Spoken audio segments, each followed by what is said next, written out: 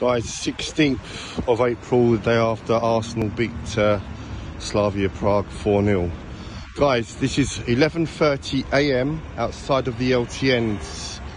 Uh, children are walking, children in prams, on bikes. The continued intentional displacement of traffic onto residents outside of the LTNs continue, guys. This is 11.30 a.m on the 16th. Not rush hour.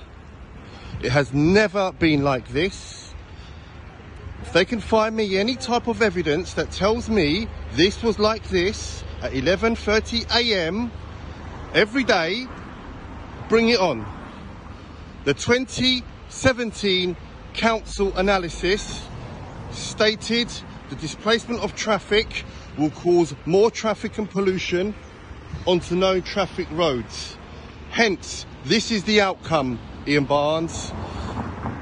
The negligence of not following your own council's analysis. Here is Spencer Avenue, part of the LTN, yeah?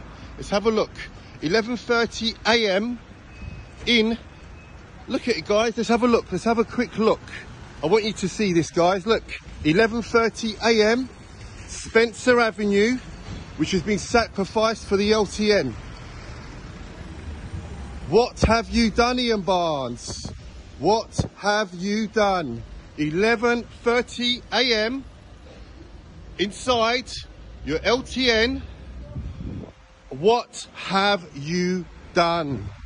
Wow.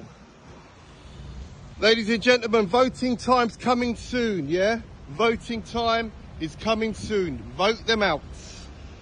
Low traffic neighbourhoods are not working. They are creating more pollution for us all. This is the road that's been sacrificed within the LTN where traffic is piling out of now. Wow, Mr. Barnes. Impressive, impressive.